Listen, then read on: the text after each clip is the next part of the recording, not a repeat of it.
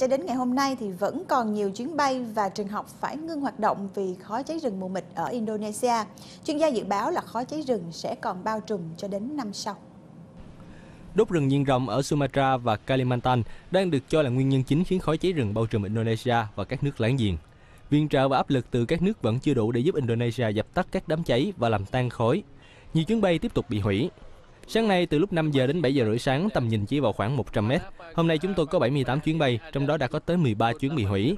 Những chuyến khác còn phải hoãn lại để chờ điều kiện tốt hơn. Nhiều trường học cũng phải đóng cửa và học sinh được yêu cầu học bài ở nhà. Trường học muốn duy trì hoạt động bình thường nhưng chúng tôi nghĩ như vậy không tốt cho sức khỏe. Mỗi năm thời điểm tháng 10, tháng 11 là mùa mưa ở Indonesia. Tuy nhiên hiện tượng El Nino đã khiến khí hậu trở nên khô gằn. Dự báo El Nino sẽ gia tăng tác động từ đây cho đến tháng 12, khiến khói cháy rừng tiếp tục lan rộng.